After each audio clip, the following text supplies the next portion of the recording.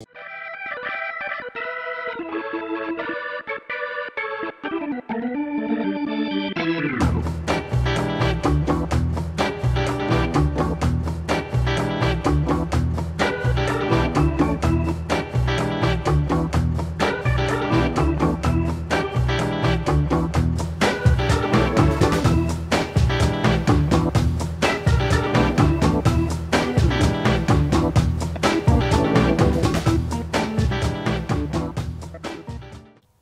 Poštovani gledatelji, srdačan pozdrav, dobrodošli u emisiju posvećenu velikim ljudima. Pozdravljamo vas poprilično visoke nadmorske visine jer se nalazimo u zvijezdanom selu e, Mosor.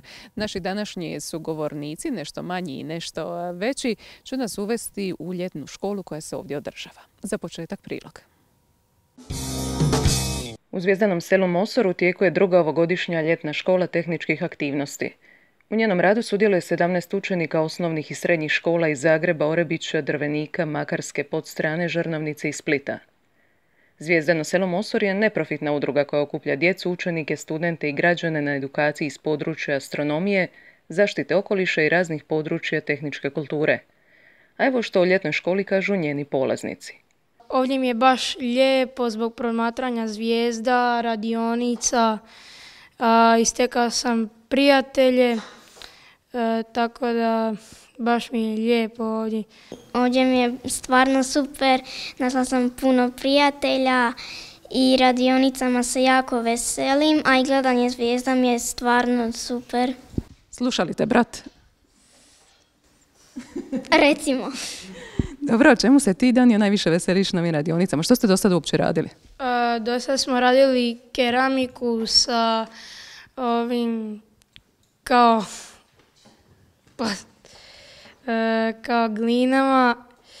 E, radili smo sa stiroporom e, na drugom danu i sad smo radili sa robotikom, s ovim malim robotićima. Pošto ja onako znam nešto o robotici, pošto idem na PMF, a to je prirodoslovno matematički fakultet, tamo, ja sam, tamo sam išao na Lego robotiku, a još uvijek idem, ali ne znam ovo sad ova godina biti, e, kad opet počne, hoće li biti s ovim običnim robotima ili će biti opet s legićima. Reci mi, Sara, kako je tebi ovdje? Jesi stekla puno prijatelja? Jesam, koji su stariji od mene. Rekli su mi da sam najmlađa u grupi, ali meni to ne smeta, mi je to sasvim ok. A kako provodite slobodno vrijeme ili idete u šetnje? Pa na večer idemo u šetnje jer nam je od 8 do 10 gledanje zvijezda, pa ono, stignemo tako prije 8 pa u 9 nam je predavanje ovdje i ne gledamo baš često na teleskop mm, izvan. U ljetnu školu? pa prijateljica mi je rekla, ona mi je rekla, pa smo se dogovorili da ćemo ići. Ti si znači već bila ili? Ne, meni je rekla isto jedna druga prijateljica pa sam ja od nje rekla njoj. Znači dobre vijesti se brzo šire. Koliko ste za sad zadovoljni ljetnom školom? Pa, pa super, zato što volim glas zvijezda i to. A reci mi od radionice ono što je odrađeno, što ti se najviše sviđalo do sada? Robotika me bila najinteresantnije, pošto sam već e, programirala u jednoj i drugoj ljetnoj radionici i to mi je onako ostalo kao najdraže i sad mi je drago što sam opet mogla imati, da sam opet imala priliku da opet to učinim. Evo ovdje imamo nekakve autiće ispred nas, ako nisam pogriješila. Kakvi su to automobilčići? E, pa to su roboti koje smo trebali programirati da mogu e, se kretati i to. Znači i djevojčice to mogu, ja sam mislila da je to samo muški posao. Ne, to mogu, to mogu svi. Evo, malo prije sam i njih pitala, pa ću i vas, kako provodite ovdje slobodno vrijeme? E, tako što šetamo, družimo se i pričamo. Mhm. Jeste stekli novih prijatelja? Mm, da. se držite onih starih? Ma, i starih i novih. I za kraj je bili preporučili ostalima da budu dio ove ljetne škole? Da. Da, zato jer je stvarno jako, meni je zabavno, interesantne su radionice, naj, najinteresantnije onako gledanje zvijezda pravim teleskopom, mogu se vidjeti jako blizu planeti, pa da, preporučujem svima.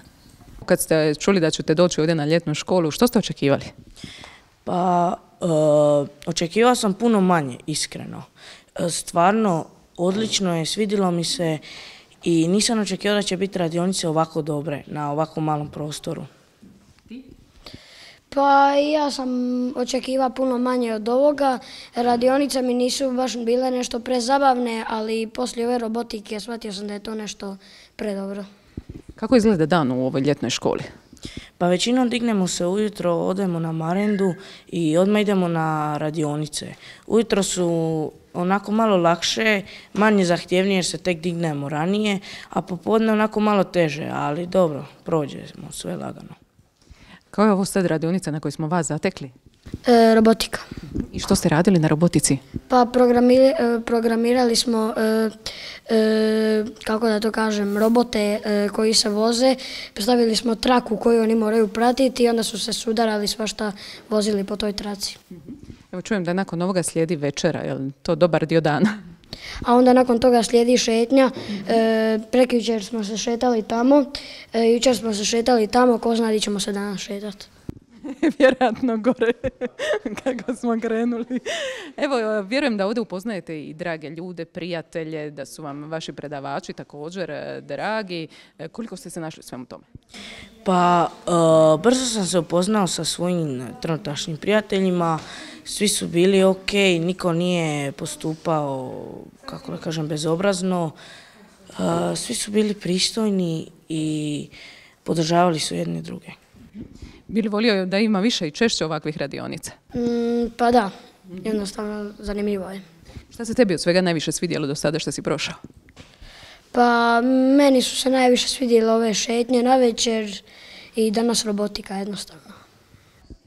S nama je profesor Ante Vlah koji je jedan od predavača ovdje u Zvijezdanom selu Mosor. E, održano je predavanje iz robotike za djecu. Kakav je ugođaj na tom predavanju? Pa super je, e, djeca su stvarno fenomenalna, ja sam evo uživat čitavi dan sa njima ove provodit. Malo smo ujutro počeli sa Arduino, sad smo evo na ove robote i e, mislim sami kažu eto da i dojam do sad e, stvarno dobar što se tiče ovih robotića. I mislim da bi svako od njih baš poželio jedan ponit doma. Evo ono da se sad ide pitat, svi bi bar je noga ovako potegli kod kuće. Znači nije im to strano, neovisno su li dječaci, djevojčice do... Ne, da pače, da pače. Ja stvarno ima iskustva sa njima gdje curice su pedantne i jednostavno prihvate to jako brzo, pažljivo vode računa o tome što se radi, što se piše. Čak budu u x situacija puno brže od dječaka. Dječaca, onako, eli, neki, neki imaju iskustva od prije, kao što smo vidjeli i tako da oni naravno to relativno brzo skladaju. Neki koji su prvi put se susreli sa ovim robotima, možda im treba malo pomoći, ali tu smo, eli, da jedni drugovima uskočimo i onda problema nema. Evo netko kad čuje ljetna škola pomislit će kakva škola usred ljeta, ali pretpostavljam da ovo ima svojih velikih prednosti. Pa ljetna škola ovo treba shvatiti kao ljetnu zabavu i učenje u zabavu. Znači, naći jedan način da se približi djeci ono što e, stalno pričam, ono što se stalno kroz novine, kroz medije e, gura, stalno učenje i stalno zabava kroz učenje kroz zabavu. I ovo je jedan fenomenalan način znači kako to ostvariti ovdje. I moram stvarno e, se pohvaliti, često sam ovdje i e, stvarno okruženje tako da imaju i red zabave i red druženja i na kraju krajeva i red gdje ovdje nešto i naučimo uz tu jeli, zabavnu E, temu, recimo danas robotika bila i njima je to bilo baš onako odlično. Vjerujem da ovo je jedan od dobrih načina da ih se makne i od mobitela, televizije. Pa Mosor je jedan dobar način da ih se makne od e, mobitela i televizije. U svakom slučaju provede ovo kvalitetno vrijeme. E, danas Nažalost, jeli, djeca i roditelji koji to dopuštaju stalno, jeli, da su djeca ono, na 10 centi od mobitela, nije dobro. Ovo je puno kvalitetnije i bolje provedeno vrijeme, nešto što će njima ostati u trajnom, vamo reći, sjećanju i što će moći kasnije u budućnosti iskoristiti. Zvijezdano selo Mosor uvijek je mjesto susreta znanja i njegove primjene, susreta čovjeka i prirode, susreta različitih generacija, susreta znanosti, kulture i umjetnosti, mjesto na kojem ste bliži prirodi, nebu iznad vas i čovjeku do vas – Mjesto u kojem shvatite da priroda ima svoje zakonitosti i beskrajne mogućnosti. I mjesto na kojem jače odzvanjaju ni Šimićevi stihovi Čovječe pazi da ne ideš malen ispod zvijezda. Poštovani gledatelji, pozdravljam vas iz prekrasnog ambijenta Zvijezdanog sela Mosor. S nama je tajnik udruge Zvijezdano selo Mosor, gospodin Tomislav Nikolić, kojem želim dobrodošlicu, odnosno još bolje vas našli s obzirom da ste tu na domaćem teritoriju. Dobar dan, lijep pozdrav vama, dobrodošli u Zvijezdano selo Mosor na 700 metara nadmorske visine, na obranak Mosora Makirina, u Gornje Sitno, u srce negdašnje Poljičke republike, gdje je svjež zrak, lijep pogled, daju prednost boravku i smještaju, iako je objekt prvenstveno namijenjen edukaciji mladih i to je za ekonomije, ekologije, povijesti, umjetnosti, raznih djelatnosti e, tehničke kulture.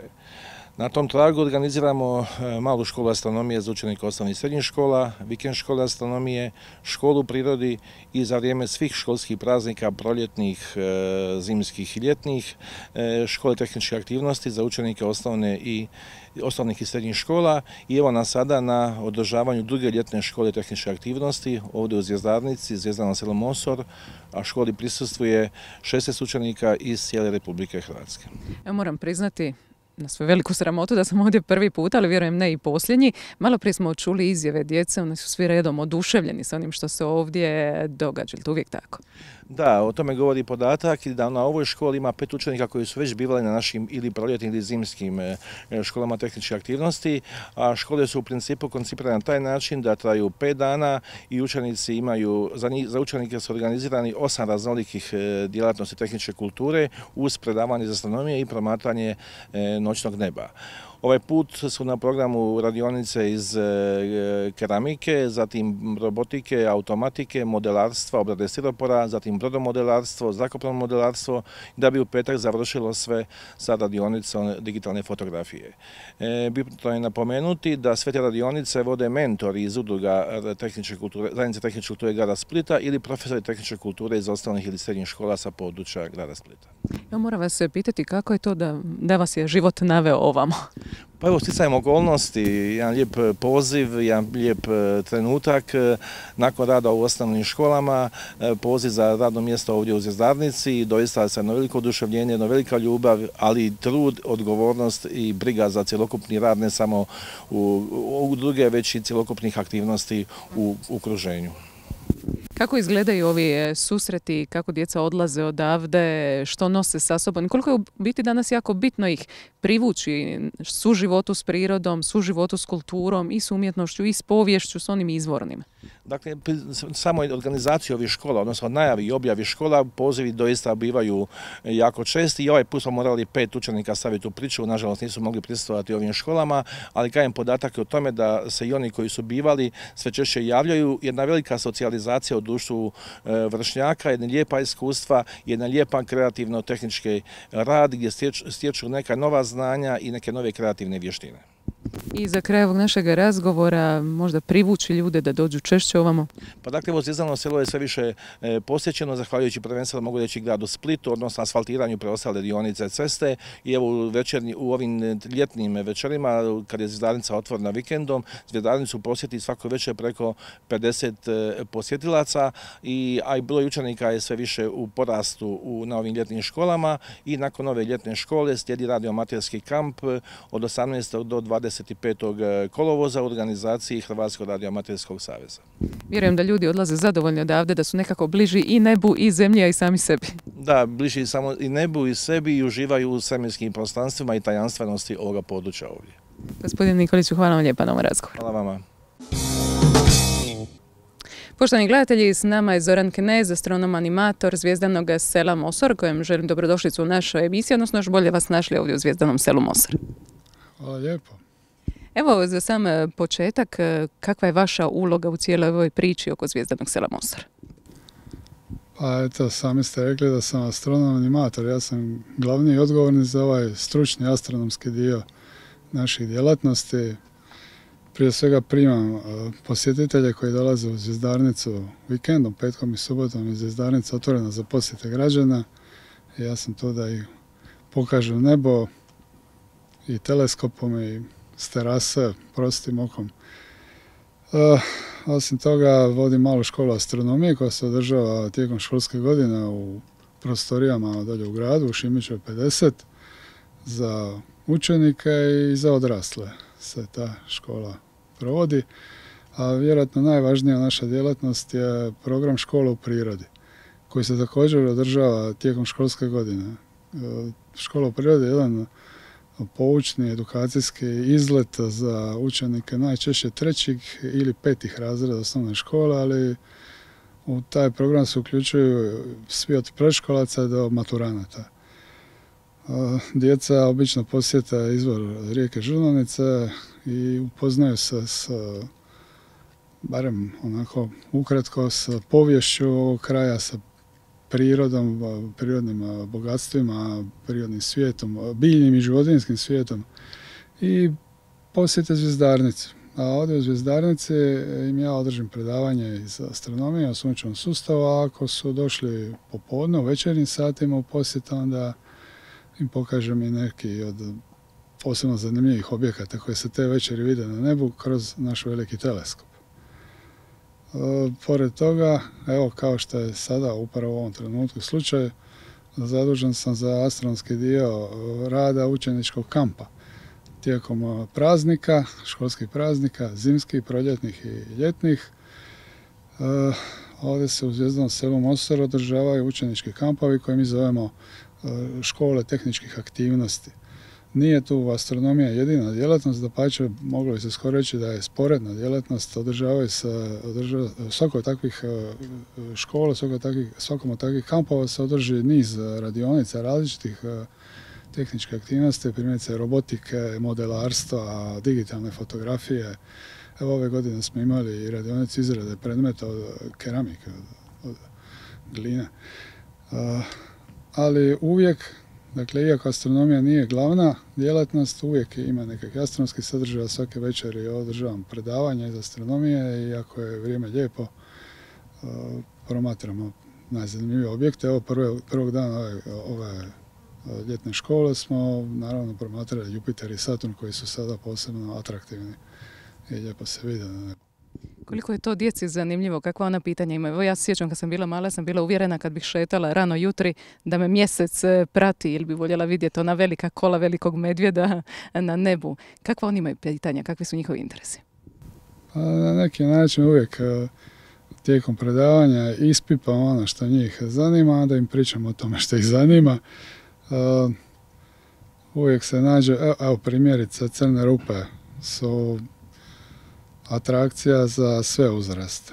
Od, čak i od preškolaca, vjerovali ili ne, do odraslih ljudi, svi, e, zbilja, svi slojevi pučanstva su zainteresirani za te e, objekte koji su teško shvatljivi, o kojima je meni teško govoriti, treba puno toga znati, ali eto, ovaj, kažem, jako su zanimljivi, pa onda obično završimo na tim crnim rupama. Dođemo do toga. Isto tako, Djecu jako zanimaju eksplozije, bilo kakvi razvorni događaj kao što su recimo padovi, udari eksteroida, što nije da kako nezanimljivo i nije nerealno, to je jedna realna opasnost iz svemira o kojoj se u zadnje vrijeme ne samo govori, nego se i radi oko toga. Ozbiljni znanstvenici, inženjeri rade na tome. Ali to je samo jedan mali segment astronomije, astronomija je nešto puno veće, međutim, eto kad pitate što djecu zanima, eto to ih zanima, to je, to je nešto neodoljivo, pa onda ja kažem nešto i o tome. E, ali ovo predavanje koje ja održavam u ovim kampovima je uvijek vezano, i inače je vezano uz sunčev sustav, to je nešto laganija tema u odnosu na ono ostatak ili astronomije, astrofizike, pa je to i pristupačno mlađoj djeci. To su uglavnom osnovci. Evo vjerujem da će mnogima biti interesantna i večer Perzida koja je pred nama. Je tako i ove godine, kao što je to običaj već 10-15 godina, ćemo e, u noći kada bude najviše, kada se očekuje da će biti e, vidljivo najviše meteora Perzeida, prirediti jedno događanje, prije svega imat ćemo jedno predavanje, znanstveno popularno predavanje koje će držati naš poznati fizičar Daniel Denegri iz CERNA eh, o po njegovom vlastitom izboru o to će vjerojatno biti nekakav sažetak moderne fizike od velikog praska do Higgsovog bozona, takav je naslov njegovog predavanja. Ali glavninu večeri ćemo posvetiti promatranju neba bez pomoći instrumenta, eventualno s fotoaparatom ako neko ima. Pokušat ćemo uhvatiti Perzeida, nažalost ove godine, svako treće godine otprilike nam smeta mjesec. I bit će prilično pun, tako da ćemo propustiti sasvim sigurno one bljeđe meteore. To sve pod uvjetom da bude vedro. Naravno, to je uvijek osnovni preduvjet za bilo kakvo astronomsko promatranje. Nebo mora biti naklonjeno promatračima. Je li još uvijek e, nekako moguće kod ljudi izvući taj osjećaj zadivljenosti, začuđenosti pred veličinom e, neba i svega onoga što se događa tu iznad nas? Pa, to nije potrebno, nije potrebno nikakav trud s moje strane, ljudi obično dođu već s time i pokazuju to, tu očaranost. Meni je više cilj podučiti ih. To, biti očaran nebom zbilja nije noćnim nebom, zbilja nije teško.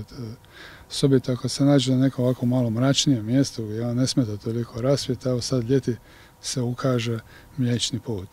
Što vam više treba od toga? To je već dovoljno da budete zadivljeni.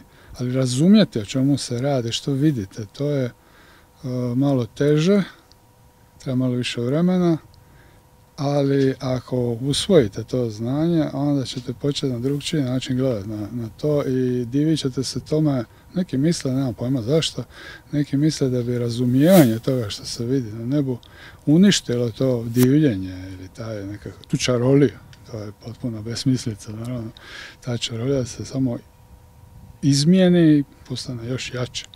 To je moj zadatak ovdje da podučim, da podučim djecu i ljude koji dolaze u posjete vikendu. Evo na početku ste spomenuli taj povratak e, prirodi, koliko je danas posebno nužno vratiti se prirodi, odmaknuti se od svega onoga što civilizacija nudi u svom napretku. A, sad povratak prirodi nikad se nismo udaljili od prirode, to je, to je zabluda, ali da, da smo mi otišli od prirode, ne možemo se odmaknuti od prirode, to je, to je samo jedna fraza. Moram priznati ne znam kako bi to komentira. Nisam ovaj, zapravo spominjao povratak u prirode, samo sam rekao da, da imamo program škola u prirodi. Nisam, nisam to, ovaj, nisam to kazao. To sam ja onda tako razumjela vjerojatno. Dobro, na neki način pretpostavljam da je jedan od ciljeva i to vraćanje djece u prirodu, s obzirom da su djeca danas često uz mobitele, uz elektroničke uređaje, u gradskoj nekakvoj vrevi, možda udaljena na neki način od ovoga što je sad oko nas. Pa, to razgraničavanje nekakvog tehnološkog svijeta i prirodnog svijeta po meni je umjetno i nestvarno. To potpuno nepotrebno govoriti o tome. Evo primjerice, u ovom mom poslu jest jedan sastavni element je neposredna komunikacija, neposredna percepcija prirodnog svijeta, neba, svemira. Ali ona je nezamisliva, za mene je nezamisliva bez tehnike ja sam zapravo nemoćan. Ne samo bez teleskopa, nego još više bez računala. I evo konkretno u ovim uh, školama tehničke aktivnosti više puta sam vodio radionicu uh, u kojoj sam djeci uh, objašnjavao kako koristiti računalo, odnosno planetarijski program koji mogu simulirati izgled neba za dato mjesto na zemlji ili negdje druge, čak u sunčevom sustavu, za dati trenutak koji mogu animirati nebo, tako da mogu vidjeti gibanje planeta ili drugih tijela, koji mogu predvidjeti kako će izgledati neka nebeska pojava, primjerice pomorće na sunce ili mjeseca, koji, koji, koji program im može pomoći da shvate o čemu se tu radi, kakva je to pojava. Dakle, to razgraničiti jedno od drugoga, mislim da je plasirano, ne, nema, nema, to, nema to svrhe možda se može govoriti o pronalaženju nekakve ravnoteže, ali nije čak ni to, mislim, nije čak ni to posrijedi. Jednostavno, to ide jedno s drugim. I ne možemo se mi danas ovaj, odvajati od tehnike, to, to je bilo suludo. 21. stoljeće i nema povratka, idemo dalje. Gospodine Knes, hvala vam lijepa na ovaj razgovor. Poštovani gledatelji, mi ćemo u nastavku pogledati presjek tjedna. Mimicama je otvorena via artistika na lokaciji Stara cesta Mimice Lokva Rogoznica. Riječ je o nesvakidašnjem umjetničkom postavu u umjetničkoj cesti u Mimicama s postavom od 15 kipova, radova umjetnika koji su sudjelovali na likovnim kolonijama u Mimicama. Područje koje je služilo kao ilegalni deponij sada je pretvoreno u malu galeriju na otvorenom u kojoj mogu uživati svi prolaznici, ali i rekreativci. Projekt je osmislila Mladenka Mimica. Od, od galerije Mimice do crkve e, na Lokvi ima točno 15 skulptura, a u selu na drugom mjestima ima svega skupa 31, plus dvije u Omišu, to su 33 skulpture koje smo realizirali u, tri kiparska simpozija. I sama činjenica da je zaustavljena deponija, da se je sanirala ono najjeftinije i najjednostavnije što je bilo moguće, da se je poravnalo, da se je dobilo nove vizure jer od pustih e, ovaj, zidova od na, nasipa nije se ni vidio ovaj prekrasni krajolik. U 30 godina otprilike 200 umjetnika je sudjelovalo u radionicama likovne kolonije Mimice. To 86. sam započela i onda sam ja to pričala sa mojim prijateljima umjetnicima i svi su bili oduševljeni pa mi ćemo, ja sam mislila možda dvadesetak ljudi da i to sam vrlo brzo skupila. Onda sam tražila prostor gdje bi to mogla napraviti i onda se nudila sama u mome susjedstvu eh, crkva Svetoga Roka koja nije nikakvog, eh, kako bi rekla, posebnog uređenja imala. I onda sam ja napravila jedan dopis, eh, onda je bio signor Jurić i zamolila ga bi ja mogla napraviti jednu sakralnu zbirku, vidno svjetlo i tako i tada je on odobrio i onda je to započelo. Ovim projektom je zaustavljena deponija otpada uz cestu u Mimicama i sve se saniralo na najjednostavniji i najjeftiniji način, a u sve to su se dobile nove vizure našeg kraja. Naoko mali projekt, ali u istinu projekt koji na neki način objedinjuje povijest, ekologiju i umjetnost.